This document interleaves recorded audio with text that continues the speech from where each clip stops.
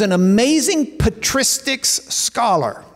Now, for those of us who didn't understand Christianity existed before Martin Luther, you've got to go back even a hundred years before that to get to the patristics. Those are the church fathers that, that were the, the early seed of the church. Uh, many of them martyrs, many of them scholars, many of them the reasons we understand Jesus as we understand him today. And so this is a man who is steeped in church history.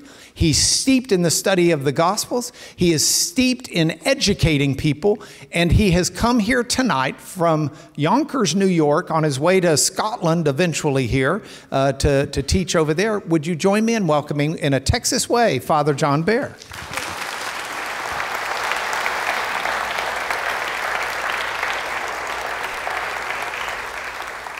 Thank you, Mark. Thank you, Mark, very much for your words, for your invitation for all those who've made it possible this evening, and for all of you for coming this evening.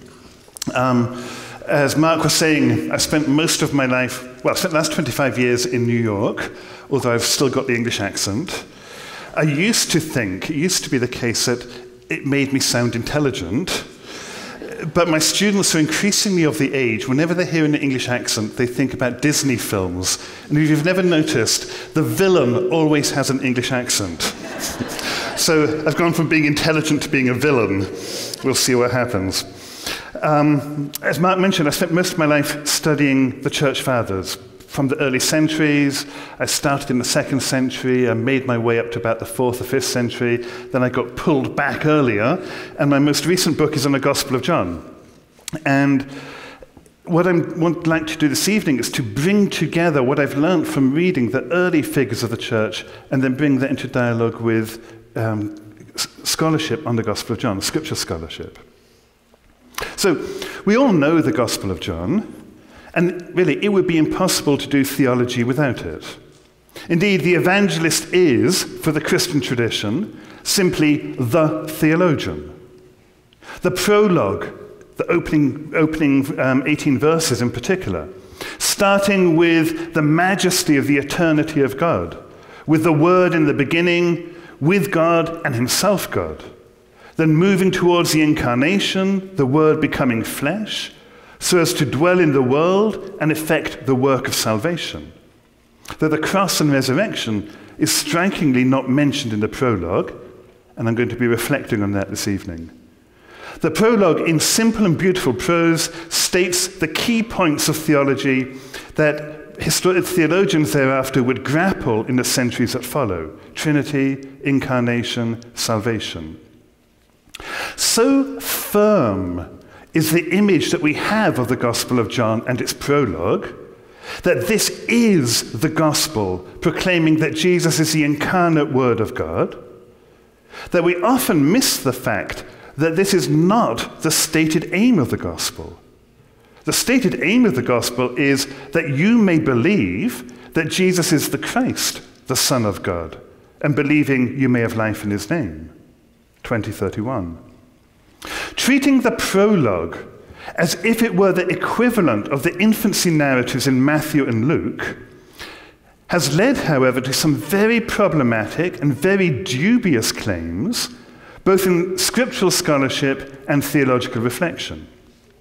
Most strikingly is Ernest Käsemann's conclusion that for the Gospel of John, the passion is, in his words, and I'm quoting him, merely a postscript, which had to be included because John could not ignore this tradition, nor yet could he fit it organically into his work. The Christ presented by John for Käsemann is no longer the humble, unknown Messiah of the Synoptics. But he's a divine incarnate Lord, a divine incarnate God, striding over the face of the earth. Resulting, Käsemann says, in an understanding of incarnation that is little better, again in his words, little better than naive docetism. I mean, really? and this of the evangelist to whom we owe the idea of incarnation. He was writing some 60 years ago, but the framework within which he's thinking, incarnation, passion, two different things, is one which surely most of us, most of the time, think. So, what is the relationship between incarnation and passion in the Gospel of John? And how can scriptural exegesis, combined with historical study, and in the book um, which came out with Oxford recently, John the Theologian and his Paschal Gospel, I also do a whole philosophical section. How can bringing these together result in a better theological reflection and encounter with the living Lord? So I'm going to begin, first of all, with historical background, and then on this basis turn to the gospel. Now, what makes Käsemann's conclusion not only troubling, but actually really bizarre, is the fact that the celebration of Pascha, the celebration of Easter, actually began in the circles around John. All too often, the historical context in which the scriptural scholars treat their texts is a projected one, isolated from the historical evidence of how that text was read and received by living flesh and blood readers. In the case of the Gospel of John, this has resulted in the 20th century in some really bizarre and wild conjectures. For instance, that the Gospel was written in Gnostic circles and was treated with suspicion by the mainstream Christian church until Irenaeus was able to wrench it out of the hands of the Gnostics by providing an orthodox reading of it. I mean, really wild theories. The death blow to all of that was delivered by Charles Hill with his study, The Johannine Corpus in the Early Church, some 10 years ago. John is, in fact, really in a very privileged position.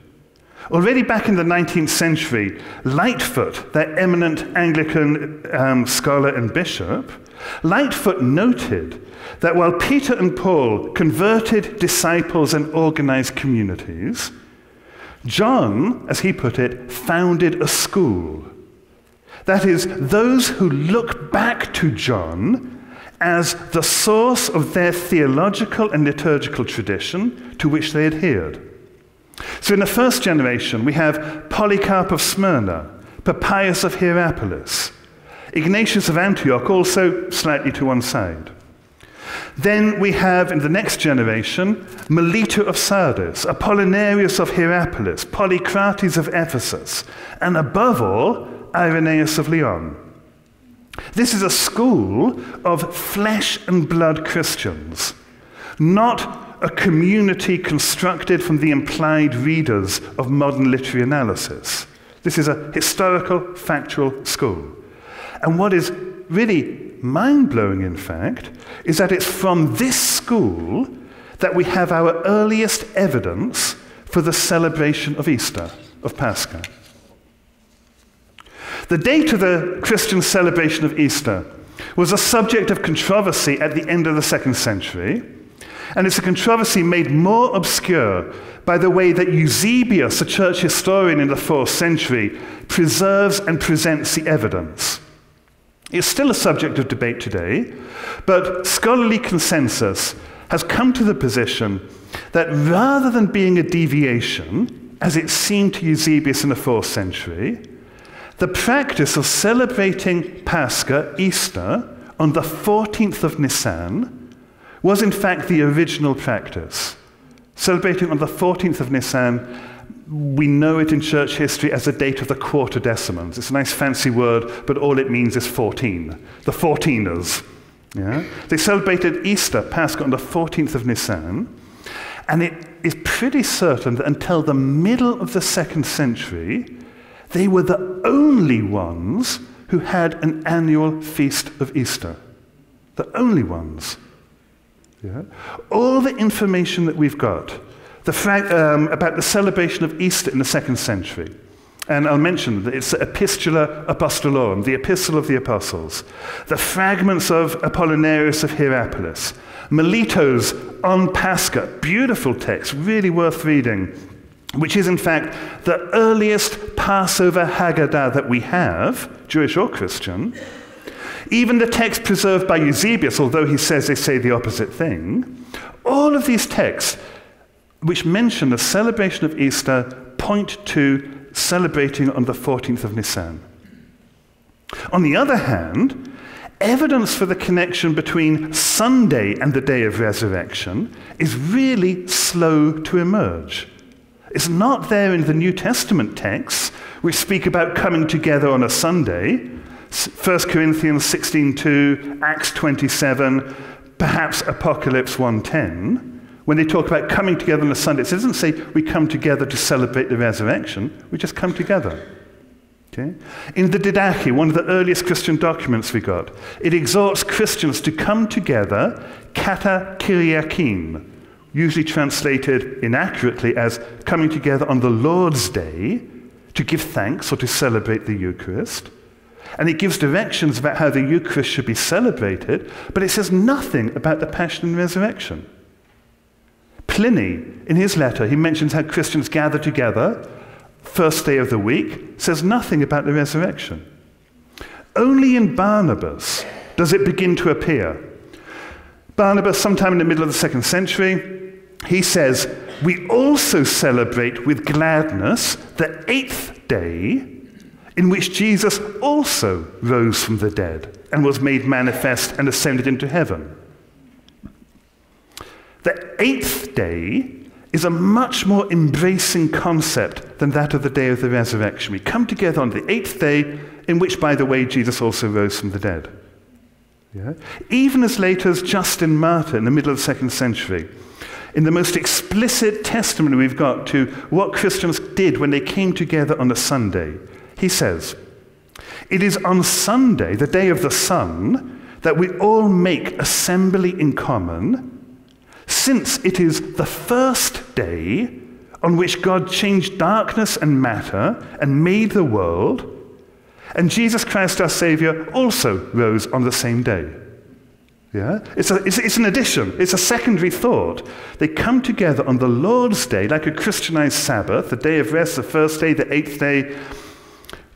Only later does it become associated with the resurrection. Whereas the disciples of John, the school of John, are celebrating the, the, the, the, passion, the crucifixion, resurrection on the 14th of Nisan, whatever day of the week it is. Okay? So, with this being all the information we have, it is really striking how strong the evidence is we have for the celebration of Easter on the 14th of Nisan, the school of John. Okay, now two further points should be noted about this. Firstly, it is not a celebration of the passion of Christ, understood as the crucifixion as distinct from the resurrection, as if they're different things. The Pascha of Christ, Easter, at least in this period, is a single night celebration. And it, it embraces all aspects crucifixion, burial, resurrection, ascension, and even Pentecost all together in one feast. And in that, that's something which actually goes back to the Gospel of John. John Ashton, in his book um, on the Gospel of John, it's a really wonderful book. I found it very inspiring. He says, and John is really playing on the word in Isaiah, in Isaiah 53, about my servant will be lifted up and exalted. He says, John John Ashton says, in the first half of the gospel, John had used the word to lift up to suggest that Jesus' exaltation is conditional upon and contained in his death. He's lifted up on the cross. He's lifted up upon the cross in glory. And then he carries on, so that the passion and resurrection must be viewed as a single happening. And then the, he says the expression from the cross, he hands over the Spirit, peredoketopneuma, he hands over the cross, the Spirit from the cross, Ashton says, allows him to fuse Easter and Pentecost as well, hinting there's no need to think of the latter, Pentecost, as a separate event. It's all together in one. These are all different aspects of the singular event. In the centuries to come, they come to be celebrated as different events, and we now all think of them as separate events. But initially, they're a single event. Think of it as pure white light, which you put through a prism and you get a spectrum of colors. Yeah? It is really only after Constantine, when you've got a Christianized city, that you can have a whole liturgy of space and time.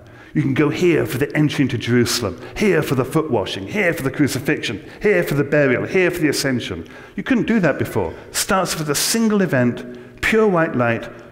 Through time, it goes through a prism and becomes uh, the separate events, but they are all aspects of that single event. They all hold together in Christ's act of trampling down death by death. He conquers death by his death. Okay, that's the first point. It's a singular event. The second point regards John himself. Polycrates of Ephesus, one of those who defended this practice of celebrating Easter on the 14th of Nisan, he wrote a letter to Victor in Rome saying, I'm never going to do anything differently, whatever you say. And then he refers to John as being the one who lay on the Lord's breast and who was a priest wearing the petalon. The petalon is a gold leaf with the, Lord's, with the name of the Lord on it, which the high priest in the temple would only wear on the Day of Atonement, one day a year. Polycrates is saying John the Evangelist was a priest wearing the petalon. What on earth do we make of that? Richard Bauckham, in his book Jesus and the Eyewitnesses, he's very emphatic. He says, Polycrates is stating as clearly and precisely and as unambiguously as possible that John officiated as a high priest in the Jerusalem temple. That's what Polycrates is saying. But what on earth do we make of it? Some have tried to argue that it really does preserve an accurate historical memory. After all, look at the Gospel of John. John is known to those in the temple. It's on his word that Peter's allowed to enter. But to say he was actually the high priest in the temple in that year, really strong. Probably not plausible. Others have argued that, it, that Polycrates is just speaking in a very loose or metaphorical sense, in the way that all Christians, according to 1 Peter, are said to be priests, a royal priesthood. But that doesn't do justice to Polycrates' very specific assertion. He doesn't just say John was a priest, he says he wore the petalon. Richard Bauckham, most recently, suggests that this is an instance of what he calls an exegetical procedure. And by that he means the conflation of various figures with the same name, which often happens in early Christianity. In this case, he thinks that Polycrates is conflating the John who wrote the Gospel with the John mentioned in Acts chapter 4, who's of a high priestly family. He just put the two together and draw the conclusion. There's no doubt that such conflations were made, but it doesn't explain why Polycrates went the extra step. He doesn't say simply that John was of the high priestly family, he says he wore the petalon in Jerusalem. That is such an extraordinary statement. So Polycrates, uh, Richard Bauckham, calls his interpretation exegetical. But it's clear he's working primarily in historical key. He's looking for historical information about the author of the gospel and possible conflation. But there's another approach, equally exegetical, but taking its lead from the Gospel of John itself, rather than turning to Acts. And this, I would say, is a theological exegetical interpretation. And we get to this by asking the fundamental question well, what is the temple in the Gospel of John? The high point of the gospel, if not its conclusion, Christ says, It is finished. John 19:30, his last word on the cross. It is finished. Going to come back to that repeatedly. The high point of the gospel is the crucifixion of Jesus at the very moment that the lambs are slain on the 14th of Nisan. Or rather, the very moment when the lamb is slain. Interpreting this act by the scriptural injunction that not a bone of his shall be broken. This is, moreover, indicated from the beginning when Christ invites the Jews to destroy the temple, and in three days I will raise it up. As the evangelist explains, he spoke, of course, of the temple of his body. And finally, it is, of course, only in the Gospel of John that one of the disciples remains at the foot of the cross, along with the mother of Jesus. And that is the disciple whom Jesus loved, who, as a uniquely privileged eyewitness, is able not only to bear witness, to be, but to be a true witness. Moreover, as Mary Coloe puts it in her book on the, the, the temple in John, the title affixed to the cross in the Gospel of John is Jesus the Nazorian with an O, not the Nazarene, the Nazorene. And she argues that points back to the prophecy of Zechariah as it was read at the time of Christ. And that's on your sheet. You should all have a, a quotation sheet. I've got a number of quotations so that you can see what I'm alluding to. So in Zechariah 6, the word of the Lord that came to the prophet includes the instruction Take from them silver and gold, and make a crown and set it upon the head of Joshua. Now remember, if you're reading in Greek, you'd read Jesus, the son of Jehozadak, the high priest, and say to him, Thus says the Lord of hosts, Behold the man. We're going to come back to that, behold the man. That behold the man whose name is Branch. For he shall grow up in his place, and he shall build the temple of the Lord. It is he who shall build the temple of the Lord, and shall bear royal honor, and shall sit and rule upon his throne. And there shall be a priest by his throne, and peaceful understanding shall be between them both. So, as such, given the imagery used in the Gospel of John, we have to say the temple is Christ's body. Which is a so instead of thinking of the temple as being the, the stone building in Jerusalem, the temple is Christ's body. And his body is a much more embracive reality. It includes all those in whom Christ promised that he and his Father would come to make their home, their oikos. Oikos is another word for temple in the Septuagint. Okay? So the temple in the Gospel of John is Christ's body, the lamb is Christ himself, and the high priest is John standing by the cross when the lamb is slain and the temple is constructed. So, so far is it not the case that the passion was for John merely a postscript which he had to include, but couldn't really figure out how or why but that John was in fact regarded by his school as being the high priest, ministering at the paschal mystery and starting this feast of Easter. That this paschal mystery, Easter, is completed at the cross, it is finished, tetelestai, enables us to see just how different the Gospel of John is from Matthew, Mark, and Luke, the synoptics. In a very real sense, John begins where the synoptics conclude. And I don't mean, here's Matthew, here's Mark, here's Luke, oh, here's John. No, I don't mean that. What I mean is that the synoptics conclude, for instance, in Luke 24, with the scriptures being opened to show how Moses and the prophets had spoken of how it was necessary that the Christ should suffer to enter into his glory, and the bread is broken, so that the disciples now finally have their eyes open to recognize Christ. And of course, as soon as they recognize him, he's gone. He disappears from sight because we become his body. I'll return to that later.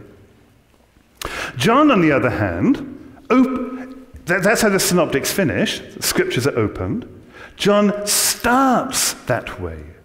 He starts with a string of really surprising statements at the very beginning of the narrative of his gospel. So, as Jesus steps onto the page in the narrative of the gospel, you have the Baptist pointing out, Behold, the Lamb of God who takes away the sin of the world. 129. And then within a few verses, you have Andrew tells Simon, We found the Messiah, the Christ, right at the beginning. And then Philip tells Nathanael, We found the one about whom Moses and the prophets spoke. And then Nathanael tells Jesus, You are the King of Israel. So they really, the Gospel of John starts where the synoptics end. With the recognition you get at the end of the synoptics, that's where John starts. And then Christ replies to all of that by saying, You think that's great? You'll see greater things than these. You'll see the heavens opened and the angels of God ascending and descending upon the Son of Man. You see even more than what you've seen there. Yeah? And have you ever wondered why the angels ascend than descend? Don't angels descend before ascending? Yeah, here they ascend and then they descend. Why? Come back to that, maybe. okay.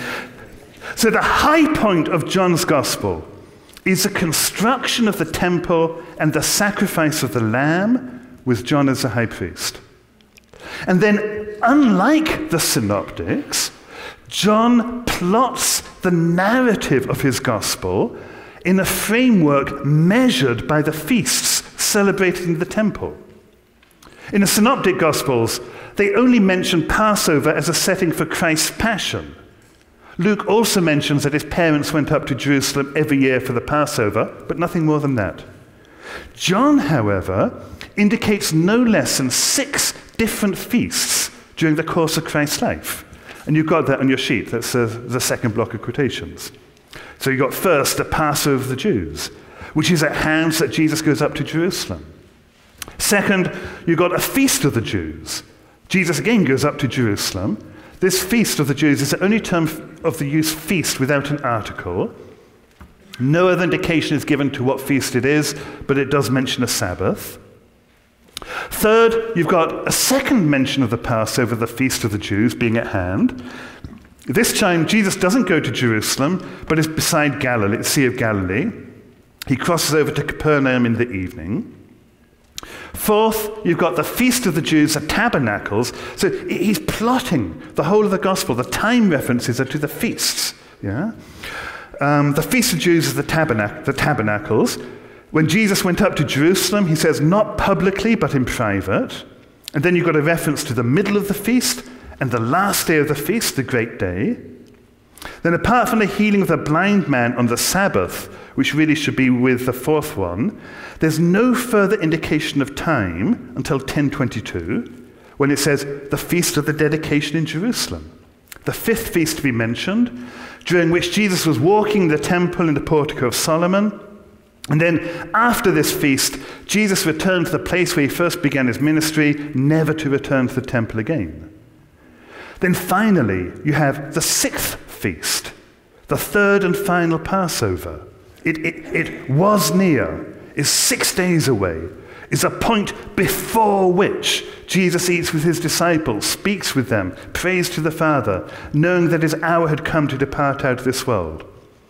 And then at the day of preparation for the Passover, about the sixth hour, he's crucified. Then, after these six temporal and festal indications, there comes as seventh the temporal markers of his appearance to Mary Magdalene on the first day of the week, to the disciples without Thomas on the evening of that day, so still first day of the week, and then eight days later to the disciples with Thomas. So you've got six feasts, for four of which Jesus is in the temple, culminating in his crucifixion on the day of preparation followed by a new beginning with the risen Christ on the first day and the eighth day. He doesn't mention the third day, first day and eighth day. Clearly, John has arranged his presentation of Christ in a highly sophisticated manner and a highly liturgical manner. Moreover, five of these six feasts are also connected with the actions and words that identify Christ as a temple and the fulfillment of the feasts in them. So the first mention of Passover is a setting for Christ to talk about the temple that he would raise up in three days, his body. The second mention of Passover in chapter 6 leads to a discussion on the following day about the bread of life that descends from heaven and is his flesh. I'm going to come back to that. On the last day of the Feast of Tabernacles, Christ identifies himself as the living water. And then early in the following morning, the light of the world, the key themes for the Feast of Tabernacles. And then at the Feast of Dedication, it is Christ, not the temple, who is consecrated by the Father, 1036. And then finally at the Passion, Christ is presented as the temple. Moreover, the sequence from the second, the chapter 5, when Jesus goes to Jerusalem, to his final departure from the temple in 1040, begins with the weekly Sabbath and then proceeds through the liturgical year. Passover in the first month, tabernacles in the seventh, dedication in the ninth. It's completely liturgically oriented. There's no need to rearrange the chapters as Bultmann did to try and make more geographical sense out of it.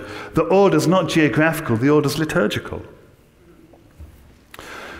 Moreover, now that the temple is complete, its sacrifice is one of love. In John, although Christ is introduced by the Baptist as the Lamb of God who takes away the sin of the world, in John, the passion, when uh, Christ's act of laying down his life, is presented not as an atonement, but simply as an act, or rather, the act of divine love. For this reason, the Father loves me, because I lay down my life. This is the way God loves the world. This is the expression of love. So, in the Gospel of John, then, um, Christ asserts that Moses wrote of me.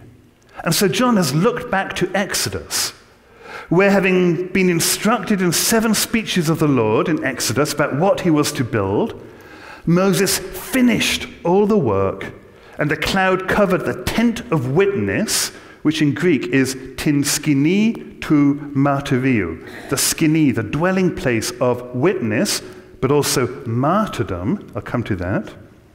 And the tent was filled with the glory of the Lord, such that Moses could not enter it because the tent was filled with the glory of the Lord. Exodus 40. Now, however, we know that what Moses built was but a copy of what he saw on the mountain. The true tabernacle of witness, the true tabernacle of martyria, the glory of the Lord is Christ himself. Okay, so John's looked back to Exodus to see what Christ has finished, to tell his day. It's finished. But John is not just looking back to Genesis, uh, to, to, to, ex, to, Moses. Uh, he's, not, he's not only looking back to this book of Moses, Exodus. It's clear from the opening of his gospel, he's also looking back to Genesis. As soon as you read the first words of the gospel, in the beginning, what do you think? Genesis. Good. So he alerts us at the very beginning that he's playing off Genesis. Now, to appreciate how he's playing off Genesis, we should note that the School of John had a very particular idea about what it is to be a human being. And I've given you quotation number three. This is Ignatius of Antioch, at the beginning of the second century, he's on his way to Rome to be martyred, and he writes to the Christians in Rome saying, Whatever you do, don't interfere with my coming martyrdom. But look how he says it Birth pangs are upon me. Suffer me, my brethren. Hinder me not from living. Do not wish me to die. Suffer me to receive the pure light. When I shall have arrived there, I will be a human being. Suffer me to follow the example of the passion of my God. He's not yet born. Birth pangs are upon me. He's not yet living. He's telling the Roman Christians, whatever you do, don't try and get me out of my martyrdom. Hinder me not from living. Do not wish me to die by keeping me from my martyrdom. He's not yet born, he's not yet living, and he's not yet human. When I will have arrived there, I'll be a human being. The things that we think about ourselves immediately undercut. Aren't we born into life as human beings? Isn't that what we are? No. We've got to be martyred for that. You can make similar points from Melito and from Irenaeus and so on. So, what is finished um, on the cross in the Gospel of John is the work of God, not only in Exodus, but in Genesis. So, think back to Genesis. Scripture begins in Genesis with God issuing commands let there be light. Let there be a firmament. Let the earth bring forth living creatures. This divine let there be, this divine fiat, an imperative, let there be, is sufficient to bring everything into existence. And it was so, and it was good, end of the day, next day. But then, having spoken everything into existence by a word alone, setting the stage, as it were, God, not with an imperative, but with a subjunctive, announces his own project. So, having said, let there be, let there be, let there be, he then says, let us make. Let us make the human being in our image and our likeness. That's the only thing which God deliberates about. It's the only thing which is said to be his purpose and his resolve. With Scripture opening with this announcement of the particular project of God, we can now hear a further dimension to Christ's last word from the cross in the Gospel of John it is finished. Not simply it's finished, it's come to an end, but it's finished, it's brought to completion, it's brought to perfection, it's perfected. It's... And this is something which is confirmed only in the Gospel of John, unwittingly, by Pilate. Scripture starts off with, let there be, let there be, let there be, let us make a human being. At the Passion, the Gospel of John, behold the human being, Idu or anthropos, ecce homo. Okay? So the particular project of God to create a human being in his image and likeness is not accomplished simply by a divine fiat, let there be a human being, then and there. It depends rather upon the fiat of Christ, let it be, not my will but thine, and then those like Ignatius, who also in Christ give their own let it be. Let it be. Ignatius, let me go to my martyrdom. Let me follow Christ. Let me follow in his footsteps through the passion. And I too will be born into life and I will become a human being. Okay? You can see intimations of this throughout the Gospel of John, for instance, in the healing of the blind man or in John 5. We're not going to go into that now. You can get my book. Um, but, the, but I want to focus on the most intriguing one, and that's the appearance of the woman. The woman is a figure in the Gospel of John who ties together the beginning, the middle, and the end. And it, she also ties the Gospel to the Apocalypse. She appears at Cana when Jesus' hour is not yet. She wants the water, turn, uh, water, they're running out of wine. She approaches her son, and Christ says, Woman, Woman, no, not mother, woman, what have you to do with me? My hour is not yet. Okay, she appears at the beginning, and then she appears at the end when the hour has come. Okay, this is quotation number four on your sheet. And it's, uh, it's worth paying close attention because it's interesting how the vocabulary sh- shifts across the verses. This is John 19, his words from the cross. Okay? It, it goes like this. So he says, so the soldiers did this. But standing by the cross of Jesus were his mother and his mother's sister, Mary, the wife of Clopas, and Mary Magdalene. When Jesus saw the mother and the disciple whom he loved standing near, he said to the mother, Woman, behold your son. Okay? Now, most English translations translate it all as his mother. Standing by the cross of Jesus were his mother. When Jesus saw his mother, he said to his mother, but it's not that in Greek. Standing by the cross of Jesus were his mother. So when it takes the evangelist perspective, he's describing the scene, he says his mother. When Jesus looks at her, so when we take Jesus' perspective, it's the mother. And when he addresses the mother, he addresses her as woman. The hour has come. He addresses her as woman, and now we've got the language also of, Behold your son. Okay?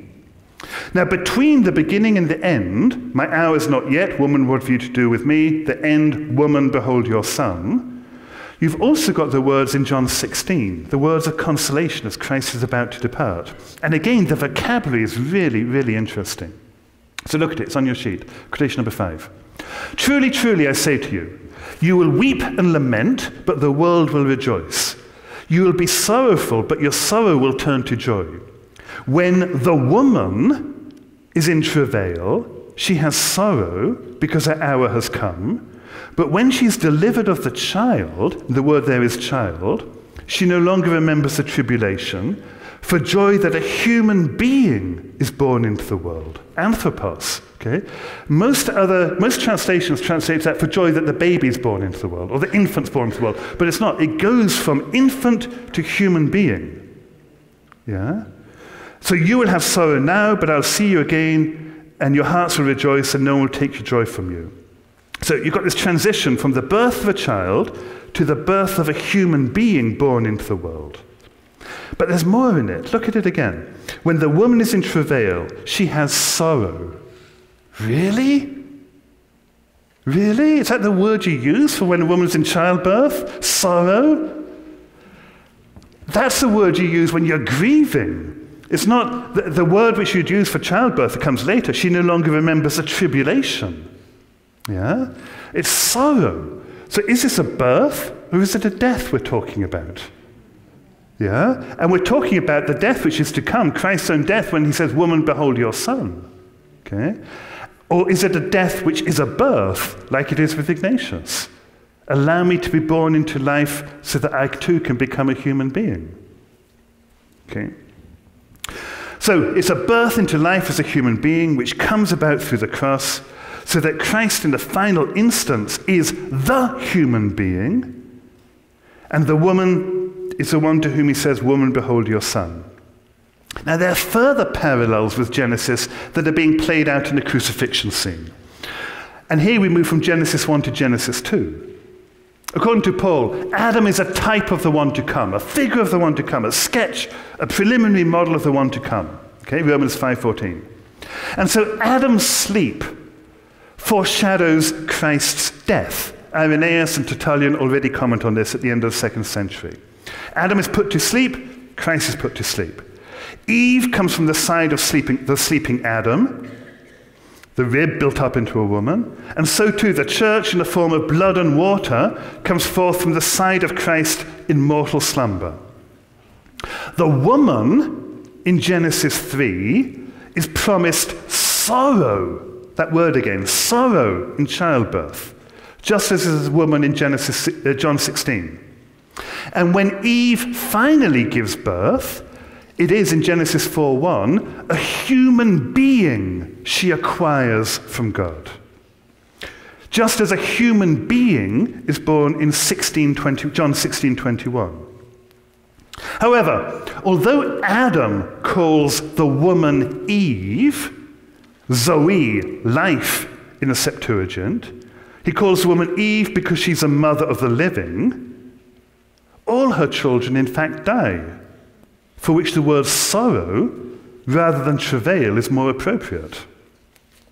So the church, in fact, turns out to be the true mother of the living, but to be a living member of the church, to be born through the mother church, to become alive, you have to die. Baptism and so on. Yeah? So the church is, as Paul says, our mother just as Christ is a true human being and Adam is a type, Eve is a type of, of the, the mother church. She acquires as living human beings those who, following Christ, are born through martyric death, anticipated by baptism, and all one can say about that. And there's one further tie between Genesis 2 and 3 and the Gospel of John.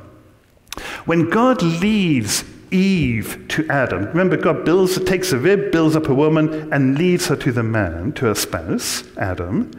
The only way Adam has been identified so far is as clay made from the earth, modeled, breath of life, and placed in the garden to work it. So, who would Eve have thought Adam to be? The gardener. Just as when Mary approaches the risen Christ, she thinks he's the gardener. Yeah?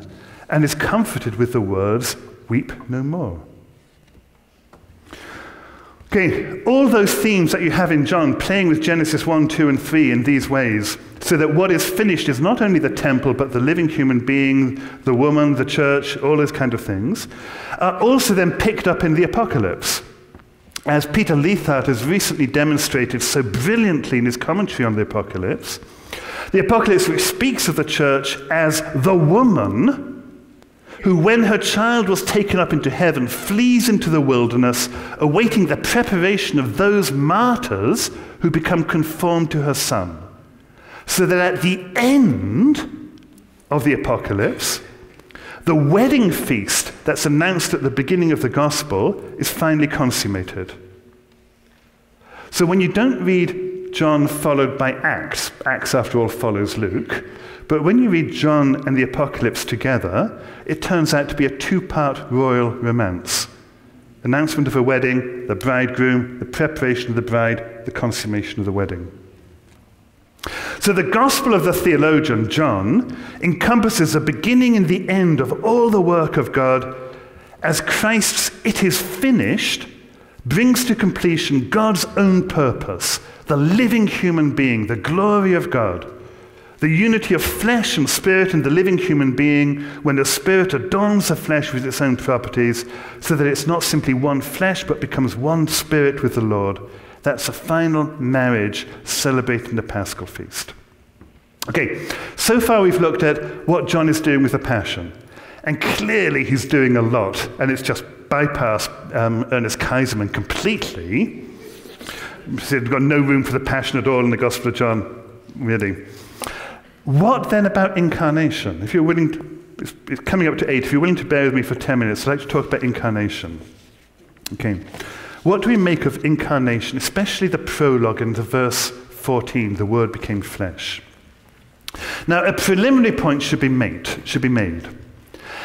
And that is that our tendency today is to start with, because we know Christian theology and we know Trinity, we know incarnate, because we start and we know all of these things, we think, our tendency is to start with a second person of the Trinity, who happens to be called the Word, and then we come to verse 14, and we think this is a pre incarnate Word, becomes flesh. We bring that together with Matthew and Luke to talk about how he's born of Mary. Although Matthew and Luke don't mention the Word, and John 1:14 doesn't speak about a birth. In fact, it's only in verse 13 that a birth is mentioned, and that's the birth as a child of God for all those who receive him. Now, the school of John, and in fact the tradition for centuries thereafter, all held very clearly that the term word, logos, is a title of Jesus. It's not the name before he was incarnate in a biography of the Word. It's a title of the one Lord Jesus Christ, the crucified and risen one. For instance, quotation number six. Irenaeus is the first commentary we've got on the prologue of John. He's refuting his opponent's interpretation. He says, Manifest then is a false fabrication of their exegesis. For John proclaiming one God, the Almighty, and one Jesus Christ, the only begotten. Okay, the subject is the one Jesus Christ, by whom all things were made, declared that this is the Word of God. Yeah, John, the, Jesus Christ, this is the Word of God. This the only begotten. This the maker of all things. This the true light who enlightens everyone. This the maker of the world. This is the one who came to his own. This the one who became flesh and dwelt among us. And they misunderstand it. Okay, you can read the rest of the quotation yourself later. So Irenaeus clearly and emphatically reads the whole of the prologue as being about Jesus Christ. He is the Word in the beginning, with God, and everything thereafter speaks about him. Jesus becomes flesh.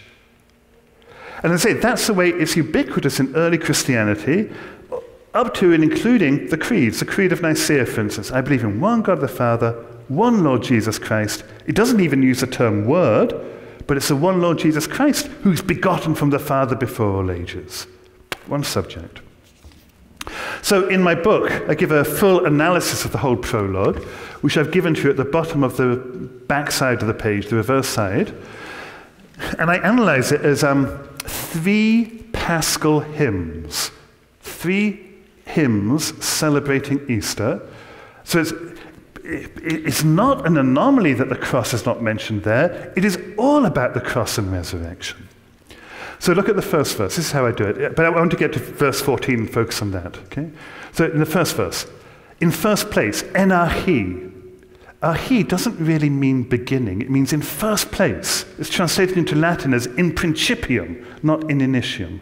In first place was and is a crucified Jesus, the Word. The Word was and is going towards God. It's pros ton theon, going towards. Yeah? In the Gospel of John, Jesus is going to, going to the Father all the way through. I'm going to the Father, but not yet. I'm going to the Father, not yet. All the way through the Gospel, he's going towards God. And then, and the Word was and is God, the conclusion of John's Gospel. Thomas's confession, my Lord and my God. So the first verse is a summary of the whole gospel. Okay? Verse 2 to five, 4 is all, uh, 2 to 5, is, should be 5 there, is also a summary of the whole gospel. This one, this crucified, risen Lord, was and is in the first place towards God. All things came to pass through him. Without him, nothing came to pass. Many people have, in fact, argued that it should be all things came to pass through him, rather than all things were created by him. And there's good Greek reasons for that. It's egeneto, not ktizo, and it's panda, not tapanda. And the real point of this is that in the Gospel of John, unlike Matthew, Mark, and Luke, everything happens by the will of Christ. I lay down my life when I'm ready. You know, when I'm ready, I will do this. Everything happens by him. Without him, nothing came to pass. And what came to pass in him was life. And the life was the light of human beings. The light shines in darkness. The darkness has not overcome it. Again, a summary of the whole gospel. Then verse 6 to 18. Also a summary of the whole gospel. This time it's chiastically structured rather than steps.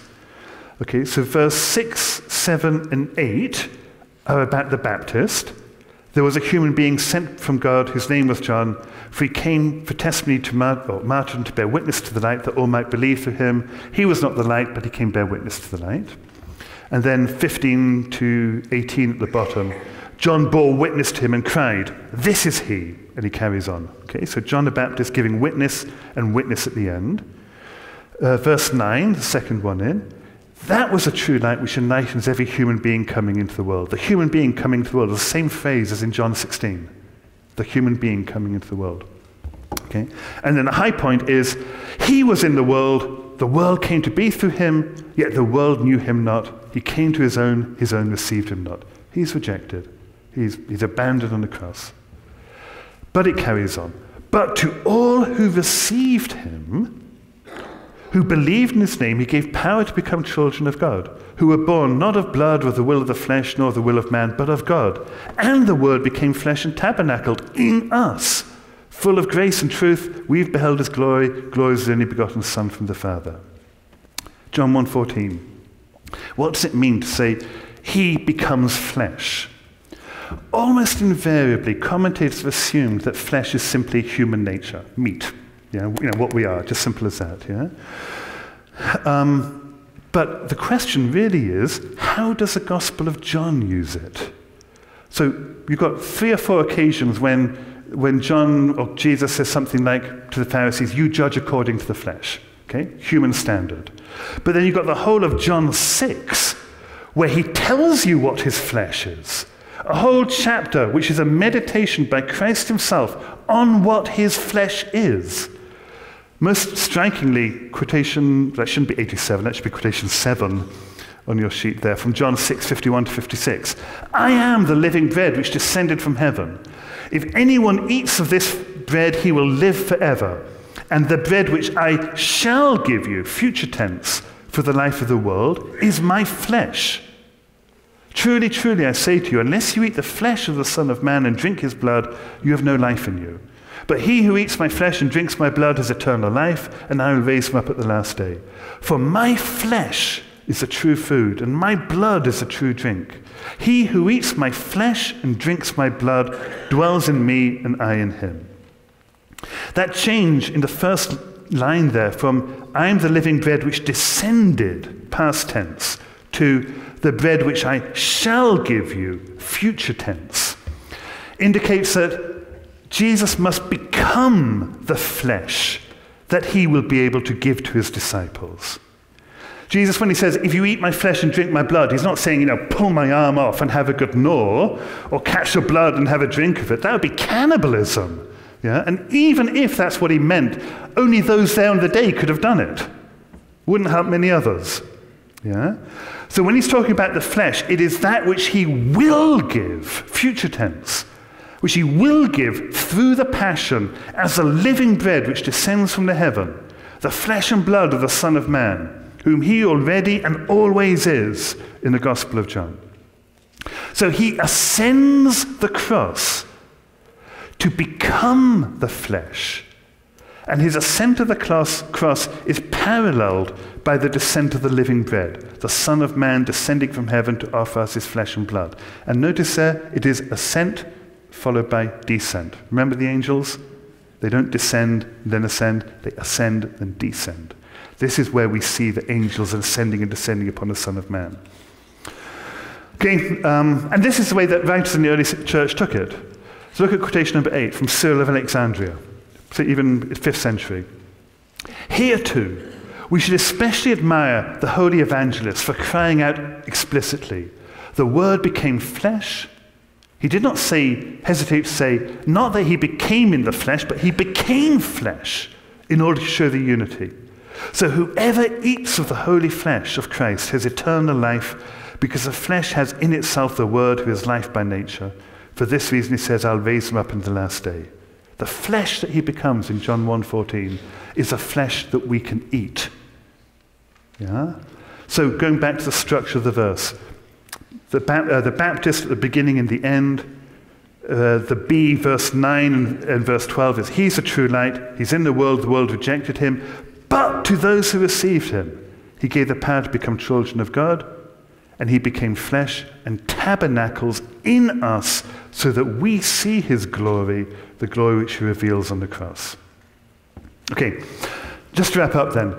So far, then, is it not the case that incarnation has so overshadowed everything else in the Gospel of John that there's no place for the passion? But rather, the whole Gospel is focused upon, leads up to, and culminates in the passion. In the words of Christ, it is finished. The temple is complete the human being is revealed. This is the work of God. It's not the case that the incarnation has overshadowed everything else, there's no room for the passion. In fact, it's a completion. The passion is a completion of the whole thing.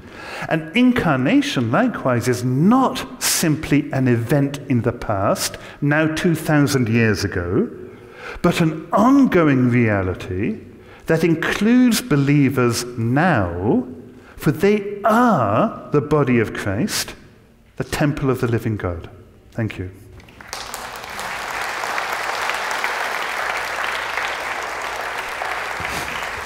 Um, what do you think of Richard Bauckham's view that the John who wrote the gospel is not the son of Zebedee? I agree. Simple. um, th- th- there's the issue. Uh, it's a contested issue, and it's been contested since at least the fourth century um, that the John who wrote the Gospel and the Apocalypse, that's where I disagree with Richard Bauckham, is a different John than John the son of Zebedee who appears in the Synoptic Gospels. Okay? And the reason I find most persuasive for that is the writing of Irenaeus. So Irenaeus was a disciple of Polycarp, was a disciple of John. Whenever Irenaeus writes about the writer of the gospel, he does so in really loving, grandfatherly terms. Yeah? He does it as um, the beloved John, the disciple of the Lord, the one who lay in the breast of the disciple of the Lord, and all, all this kind of language. Whenever he refers, and he never refers to him as an apostle or the son of Zebedee, when he refers to John, the son of Zebedee, it's simply as a character that's appearing in the synoptics. And he never uses the titles like lay on the Lord's breast or the disciple of the Lord for John the son of Zebedee. He keeps the two completely apart. Okay? There are, and he was the last one really to do that. Um, Polycrates and Polycarp and others before him do that. Thereafter, the two figures become conflated. And part of the reason for their conflation is a, is a obfuscation that Eusebius throws into the question because he wants to discredit the apocalypse, which until that point everybody had accepted was by the same author. Okay. There we go. Okay. Um, do you believe that the Gospel of John was written out of the area uh, of Ephesus? Uh, I haven't made my mind up on that one. I'll persuade you later. What is, uh, or try to. Um, so, one person wants some clarification. So, in- okay, can you say, with regard to the thing of Ephesus, we've got this really strong tradition about him uh, being in Ephesus at the end of his life and so on, yeah? yeah. And we've got a lot of information which, in the second century, about how he appeared and gathered all his disciples around him, and they had like a kind of meeting together, yeah? Um, so there's very clearly that, but when, whether, and they urged him to write the gospel, that's how it's reported. So you do Yeah, have that. so, so my principal argument, if you think it's got any merit at all, and if you don't, I'll try to convince you later, is is if you look at the book of Ephesians, which is is written probably a couple of decades before the the Gospel of John. John actually uses unique language from the Epistle of Ephesians that nobody else uses. Oh, absolutely. The, the, the, the, the, closeness between Ephesians, but Paul more generally, and John is really striking. Yeah. The language of being in Christ and so on. Right. But there's all sorts of other information. For instance, the Muratorian canon. The, the, the list from the second, mid-second century speaks about the number the books of the New Testament and when they were written and so on. It says that Paul wrote seven letters in imitation of his predecessor, John. Interesting. Um, yeah, Leave that yeah. one. Okay, so um, uh, next question. What is the significance of having a female figure at the beginning, middle, and end? Oh, because John's playing on Genesis. John, John's reading the end in terms of the beginning, the beginning in terms of the end, and you have, um, obviously, Adam, uh, let us make a human being. Here it's complete upon the cross. That's Genesis 1, finishing in the Gospel of John, chapter 19. But then you have in Genesis 2, you have, it's not good for man to be alone. Yeah? And people always go immediately to the rib taken from his side. But in fact, when God says it's not good for man to be alone, what, I'll make a helper fit for him, what he does is bring all the animals to him. Until Adam himself realizes it's not good to be alone. Then when Adam says, Where's mine? That's when God puts him to sleep, takes the rib. So, so he, he, he's, he's understanding the, the, the end in terms of the beginning in all these different dimensions. Um, but there's one further passage which has to go together with that, and that is Isaiah 53, um, the hymn of the suffering servant, which is immediately followed by another feminine figure. Rejoice, O barren one who did not bear, break forth into sing, cry aloud, for the children of her that is, uh, for the children of her that is barren is more than the children of her that is married. So the barren woman, as a result of the passion of Christ, Isaiah 53, now gives birth to many children. Okay? Uh, which Paul already does in Galatians 4. Okay, and maybe I missed it, but I thought you had set up the link. I'm not sure if you had time to fit it in, so if not, if you want to fit it in, but you set up the link where you were referencing the Nazor. And Yeah. Nazor is our, our Hebrew word that, that we've got for the branch itself.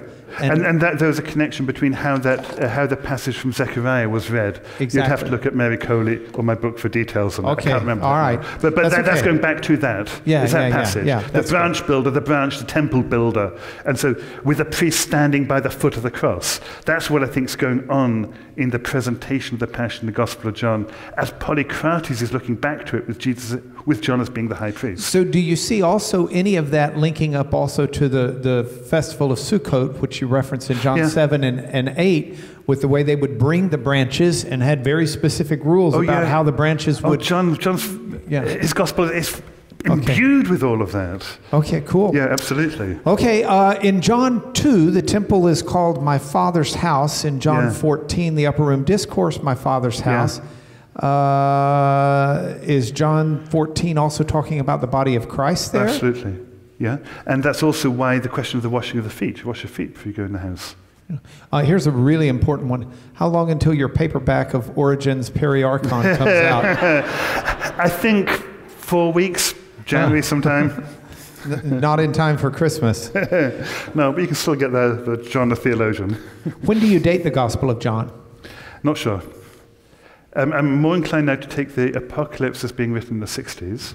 The only reason for dating the Apocalypse in the 90s, the only reason, is one line in Irenaeus which has been misread. when it said that John, it's, it's, it's usually translated, John saw, uh, the vision was seen towards the end of the reign of Domitian. But in fact, it was John was seen towards the end of the reign of Domitian. Interesting. That's the only rationale for putting it later. So I would place the apocalypse early 60s. So sometimes shortly after the fall of the temple, Before. before, the Before. fall of the temple. Oh, absolutely. Absolutely. Wow. Interesting. Jesus wasn't. And that's actually a fairly standard position now. yeah? Yeah. Yeah, for the apocalypse? Yeah. So you date the gospel after the apocalypse. Well, that's what I'm still trying to work out.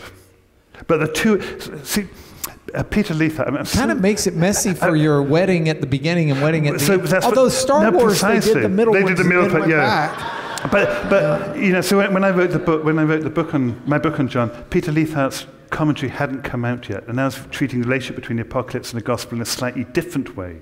The apocalypse as being the unveiling, which means that the gospel's the veiling. Well, you Okay. definitely need him in your early Christology uh, seminar next time. Um, okay. Uh, I'm not going to ask you that one. I'm not going to ask you that one. I'm trying to look for one more. We got time for one more. I want it to be a good one. Um, not that these are bad. I don't feel like I just passed over yours because it was a stinker. These were all good. Um, eh. eh. I'll look at them later. By definition, here's the last one.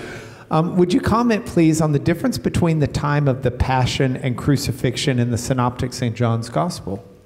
Yeah, so very simply, um, in the synoptic gospels, uh, the, lamb, the lambs are slain in the temple, the Christ and the disciples has the Passover meal, and he's crucified the following day. Very clear. Yeah? In the synoptic, in the Gospel of John, he's crucified when the lambs are slain. It's, it's literally it's a different day. Okay? And the point is not that they were confused about chronology or time or whatever else it is. The point is that in the Gospel of John, Christ is already introduced at the beginning with the words of the Baptist, Behold the Lamb of God. Well, if he's the Lamb of God, when's he going to be slain? It's a theological point that's being made. Very good.